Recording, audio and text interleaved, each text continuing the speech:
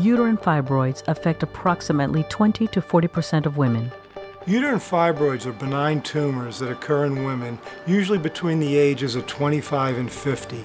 They grow in the muscle of the uterus, and they can get to be rather large or they can stay small. But the important thing to remember about fibroids is that they are benign tumors. Benign, but still bothersome, one in four women have symptoms so severe they interfere with daily life. Uterine fibroids can cause a wide variety of problems in women.